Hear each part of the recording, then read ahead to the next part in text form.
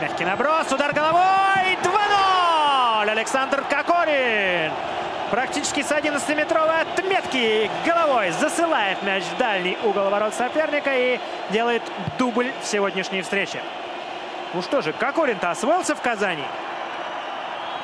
Очень хороший удар, но тут надо отметить, что голкиперу было не просто оттолкнуться от мокрого газона, однако же действия Кокорина нельзя не отметить.